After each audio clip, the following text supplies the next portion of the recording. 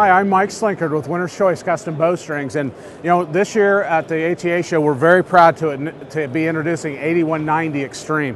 It's a new string material. Uh, BCY came out with it this year, but this particular formula is actually exclusive to Winner's Choice.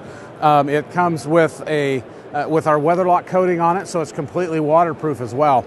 8190 is the first real improvement in string uh, material that we've seen in many, many years. Uh, it's 15% stronger than 8125, which is our what we kind of built our reputation on.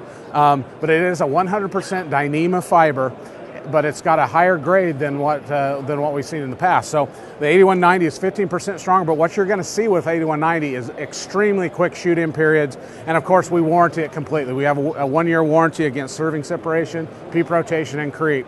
And Winner's Choice has uh, been, been known for that for many, many years. So, you know, check us out on the web. It's www.winnerschoicestrings, strings is plural.com, and you can find all about out about uh, 8190. Uh, put it on your bow; it'll be the best string you ever shot.